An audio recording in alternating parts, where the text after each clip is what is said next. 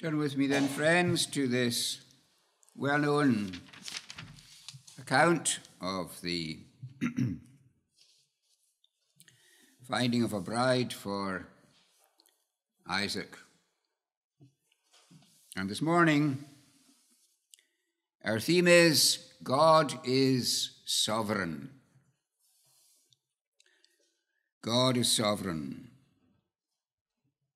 says in verse 21 and the man wondered at wondering at her held his peace to wit whether the lord had made his journey prosperous or not.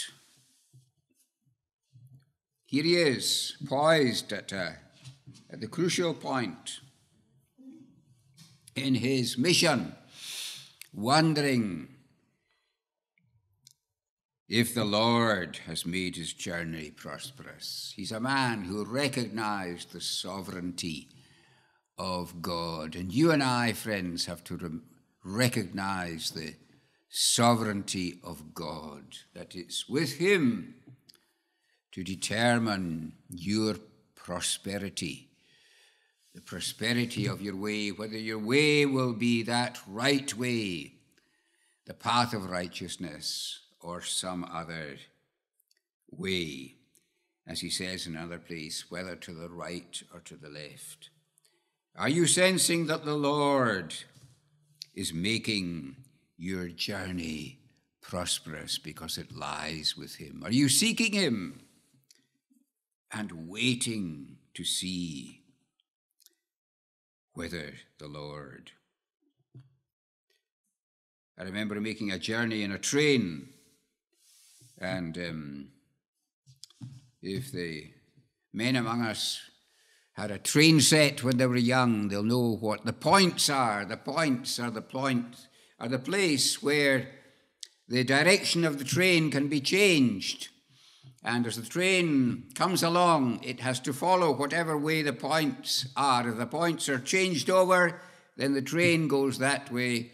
But if they're left there, the train will go that way. The points can be changed. I remember getting a a ticket for a train to Edinburgh. I got on the train, which was going by Carstairs, but unknown to me. I should say the train was going to. I was. I had a ticket for Lockerbie.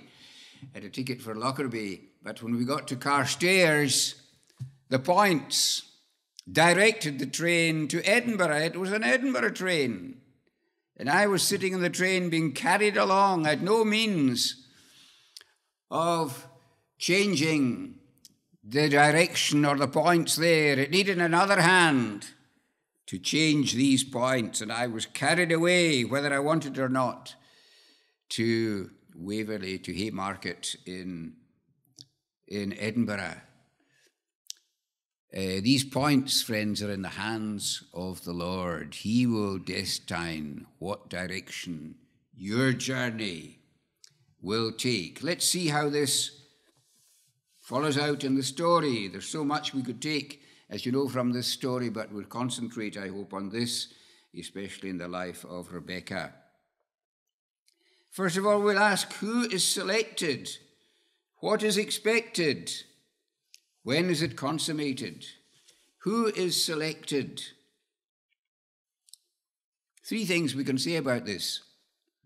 Who is special? Who is God selecting in his sovereign purpose? Is there something special about us that God should choose us? Yes, there is. It's not in ourselves. I remember asking a man uh, an intelligent Christian, I would say, out in South Africa, how is it you think that you came to a knowledge of Christ? Because I knew you'd come from an ungodly background. Was there something in you that made the Lord choose you? And he said, Well, there must have been. And I said, No, there was nothing in you. There's nothing in you yourself. But let's but look at it in this case. There was something special about Rebecca. She confessed this in verse 15. It came to pass, after he'd done speaking, that behold, Rebekah came out, born of Bethuel, the son of Milcah, the wife of Nahor, Abraham's brother, with her pitcher upon her shoulder.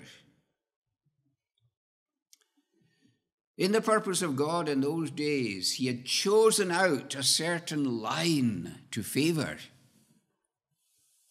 It began with the line of Seth, as opposed to the line of Cain. We read that when Seth was born, then began men to call upon the name of the Lord. And then after the flood, the Lord took a special care and prepared a special destiny for each of the sons of Noah, which Noah was able to prophesy to. It says in 1129.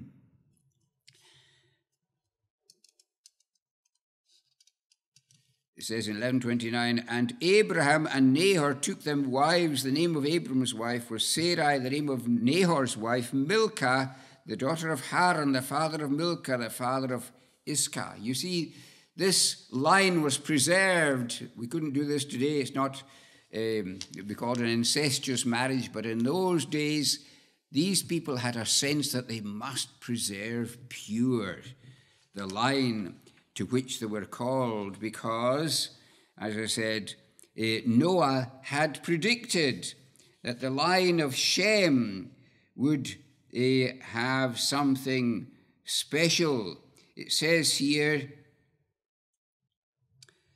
that he cursed Canaan, he blessed, and he said to Shem, Blessed be the Lord God of Shem. In other words, he was saying that he was going to tie, link his name and his identity with the Shem and with the children of Shem he blessed the Lord God of Shem. In fact, it said, God shall enlarge Japheth, and he shall dwell in the tents of Shem. That's what you and I are doing today. We're here in the tents of Shem. We're here in the tabernacle of the people, the sons of Jacob, of Israel.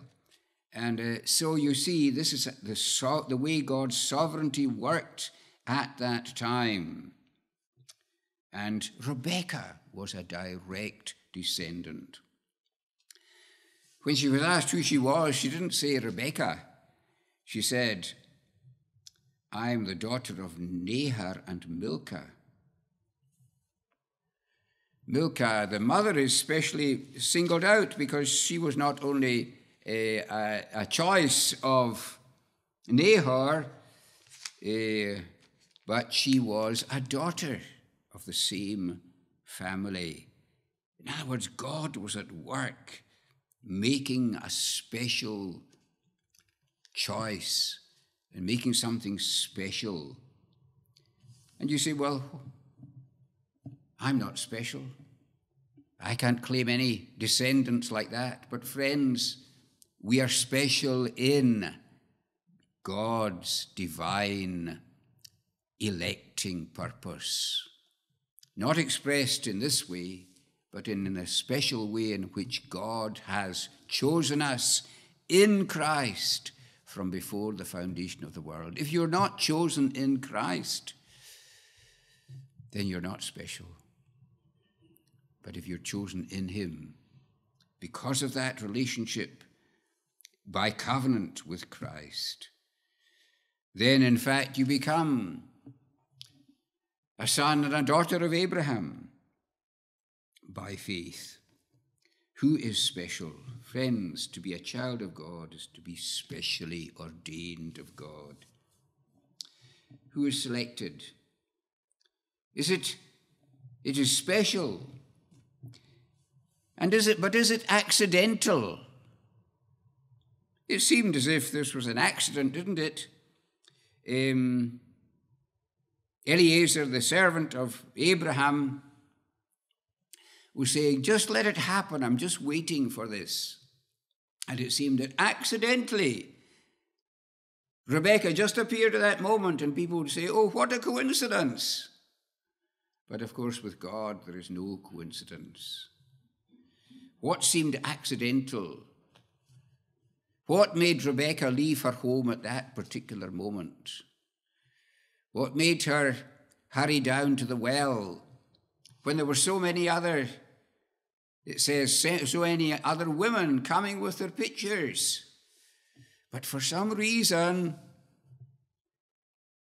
Rebecca was the one that arrived there at that instant. It says, he had hardly left speaking when there she was in front of him. What an accident, you see. No, of course it wasn't. It's God that moved Rebecca to tie, tie, uh, that timely moment to arrive just when the servant had finished his prayer. It wasn't accidental, it was intentional. And so it is with you and me, friends. You may have arrived at this service this morning saying, I wonder what the minister is going to say. Is it an accident that I chose this passage? Is it an accident that your heart has been prepared to discover that God is dealing with you in a very special and significant way so that you are have a heightened awareness that God is at work. I'm here under the sovereign grace of Almighty God.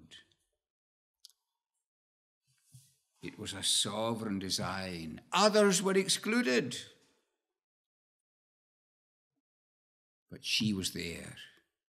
Others are doing whatever they are, but you are here at the appointment of God. She was selected too. There's something else about her. She was beautiful. It especially mentions. Why does it mention outward beauty? Well, it does. The damsel was very fair to look upon. Is that why she was chosen? Does God have a special care for people with a beautiful exterior, handsome appearance? We know that's not true. Why mention the beauty? Because we, we believe, friends, that that beauty of Rebecca was a rare beauty that came from a person who had discovered the way of grace. We see that in the way that she reacted. There was some, some quality within that person that made her radiate that beauty. As Paul says, not the adorning of the outward, but the beauty of a humble and a quiet spirit. Don't we get that sensation, that impression from Rebecca? There's something, there's a beauty about her behavior, about the way that she acts. There's a grace about what she does. When she says, I am the daughter of Bethuel, the son of Milcah, which she bare unto Nahor, here's a, a girl who thinks beyond herself. She's thinking, Who am I? I am the daughter of that special person, that woman. I am the daughter of Bethuel, the, who, is the, who is the son to bear unto Nahor. She's as if She's someone that seems to have studied her past and rejoiced in who she was in the purpose of God. They didn't have Bibles in those days, friends. So, how did they grow eh, spiritually? How did they grow in the knowledge of God? It's from the truths that were imparted and handed down. And she felt, I am an heir. I have inherited this godly her inheritance, this godly descent. And that's who she is. She feels she's aware of who she is. And that's what happens, friends, isn't it? When we come into the knowledge of the Lord Jesus, we realize what heirs we are. Yes, we're heirs of God and joint heirs with Christ. We're heirs with the apostles and prophets. We're heirs with the reformers and the covenanters. We're heirs of the disruption, and we are those who are thoughtful, deeply aware of who they are, realize this is my inheritance. It was God's sovereignty at work that brought me to who I am and where I am, uh, where I am now. of course, she also, like any uh, good young person or old person, reflected the image of God. No doubt she was aware again where she came from as Adam was made in the image of God. So we bear that image and must be conscious of it. You and I represent God. We don't have any graven images in the church, but we've many images in the free church.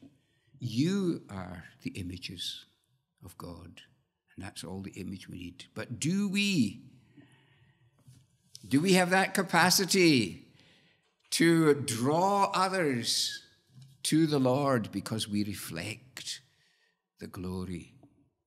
There's something about Rebecca that reflected the glory of God. That was the true beauty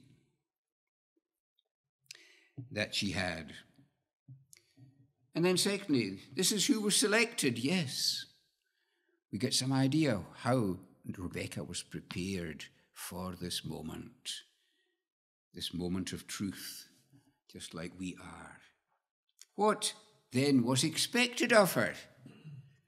The servant laid down certain conditions, and he wasn't going to pay attention to anyone unless they fulfilled these particular conditions. We could call them marks of grace. What did Rebekah evidence? And it came to pass that the damsel to whom I shall say, Let down thy pitcher, I pray that, that I may drink. And she shall say, Drink, and I will give thy camels drink also. What is it about this grace? What are the marks of grace? Well, first of all, there's the spontaneity of Rebecca. There's no hesitation, is there? Immediately she receives the request from this stranger, her heart goes out to this thirsty man and these thirsty camels. It's a mark of grace, it's her care for those in need. She doesn't think of oh, I'll need more, I'll have to put more effort in. Uh, this water was intended for my mother and for the, for the household and for the. No, immediately she applies this precious water that she has gathered to the needs of a stranger. Remember the Good Samaritan and how he helped the stranger not like the Pharisee, not like the Levite and the priest. Go and do thou likewise. Yes, Rebecca exhibited this spontaneous spontaneity. She exhibited generosity. You see what Eliezer wanted? He wanted her to go beyond what could be expected. Perhaps it was the custom then to offer a drink to strangers, but not their camels, surely. Surely they, there were plenty of men around to do that. They could have done that, but no, you see how Rebecca goes beyond what is expected and required uh, of her. It shows her a generous, a big heart. She just can't help uh, doing as much as she can for others. And it says that she ran to get the water. She just didn't take her time, no. She put herself out. And there's a, a there's a readiness and a alertness and alacrity in what she does.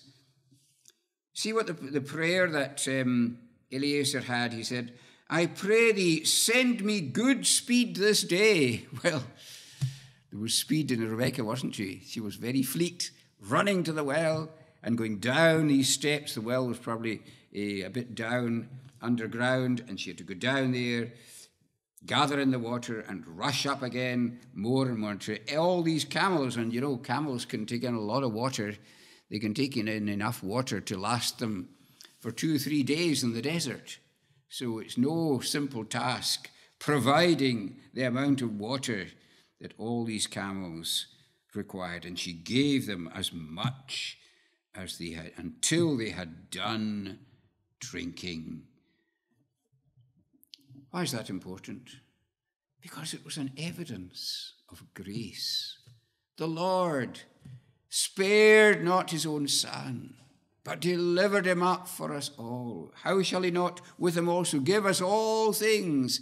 And if we've experienced the lavish generosity of God's grace, then it has to show itself in the way that we reach out to others in their need.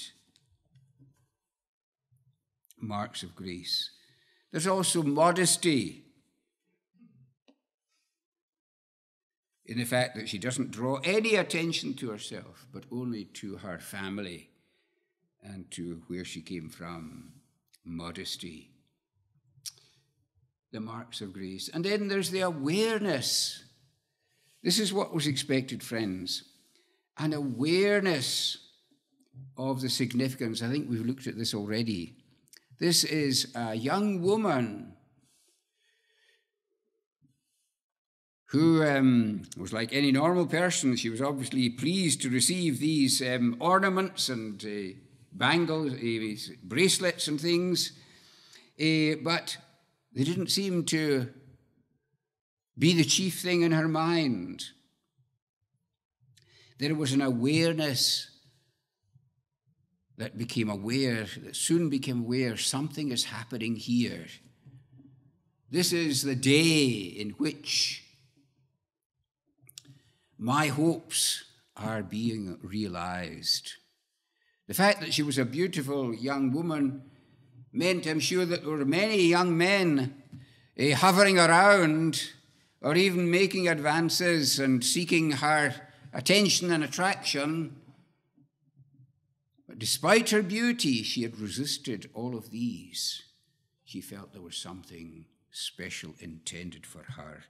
And as this, uh, as the servant recounted again and again what had happened and how he had been led, she herself was beginning to sense how momentous this occasion was. Do we have that awareness, friends, that God is unfolding his eternal purpose week by week? I think it's R.C. Sproul that said, Every moment is eternal. What does he mean by that? Every moment is eternal. Every moment you spend in church with your Bible or every anywhere else, it is significant for eternity. Jesus said, We are laying up treasures in heaven. What we're doing with every five minutes, every hour, every day of our lives is has consequences. It's eternal. So these actions of Rebecca we're going to bring about the whole generation of the people of God for ages to come. There was a readiness of sacrifice as well. We know that we read in, in verse 58 that when she was called and they said, Will you go with this man? She said, I will go. Three simple words but how much of a sacrifice was in these words? Can you imagine what it was? She'd brought up in a comfortable home. She'd heard about Abraham and how he was living out in the dusty places with a tent, no mod cons, as they say.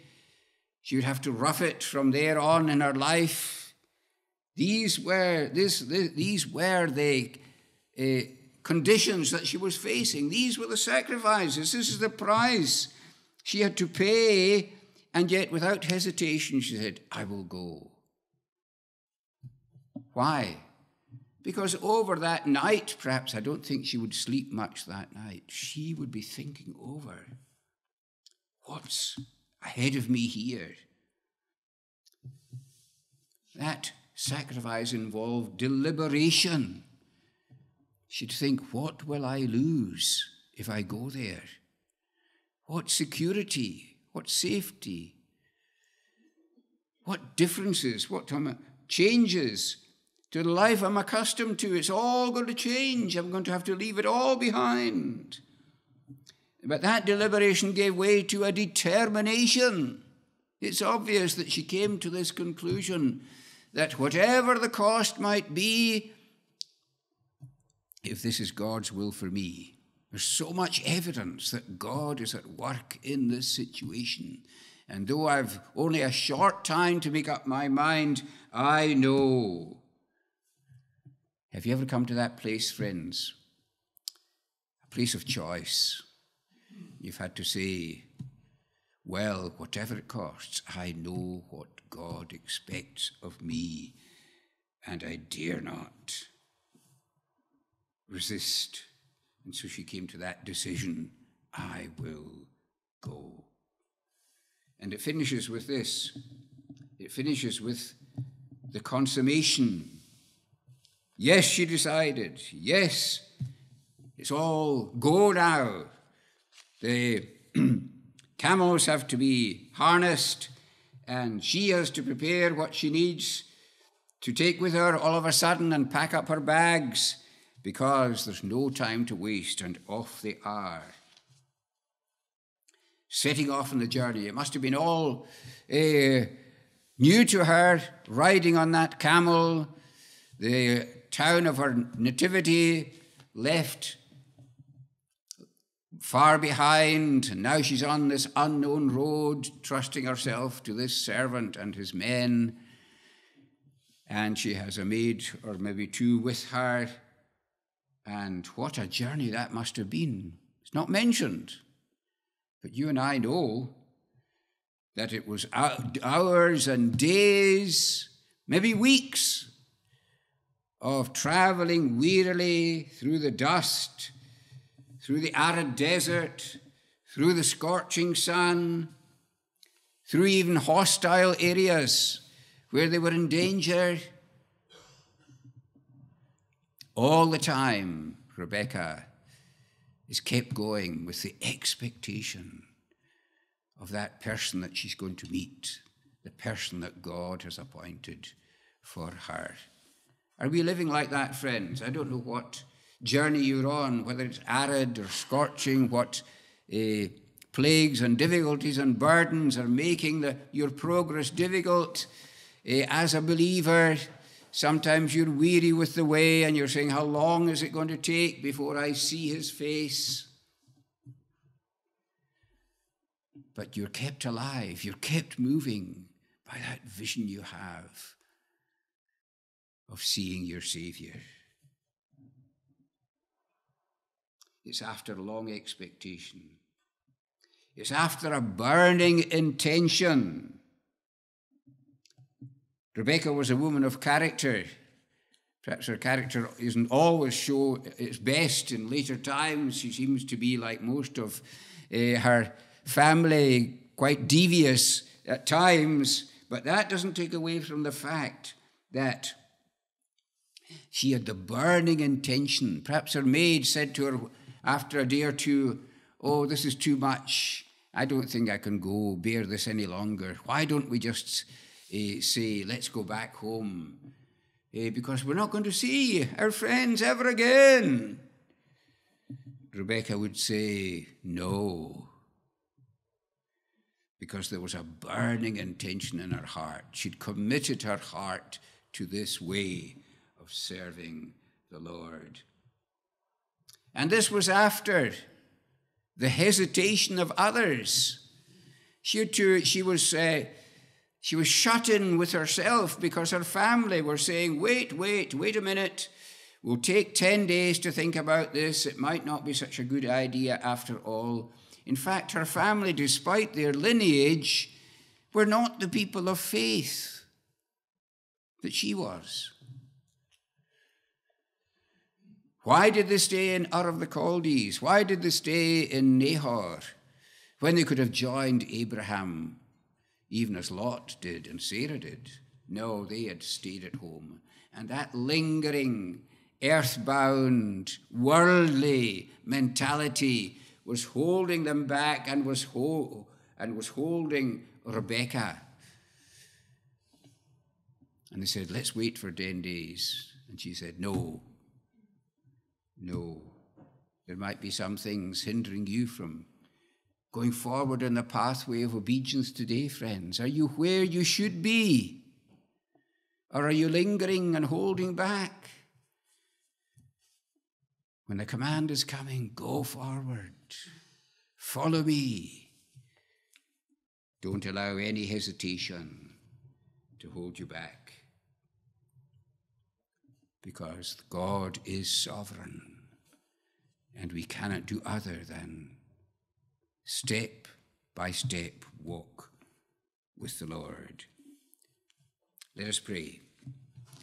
Gracious Lord, we thank Thee for the wonderful example of that young lady of old and how we are constantly challenged to serve that purpose of the Lord. We know how that servant could have been excused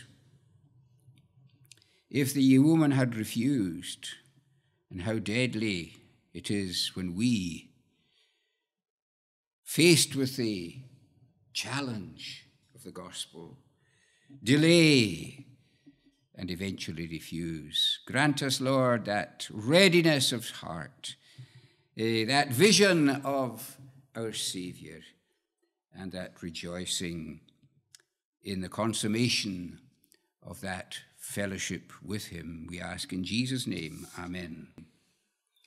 Now may the grace of the Lord Jesus Christ, the love of God, the fellowship of the Holy Spirit rest and abide upon you now and ever. Amen.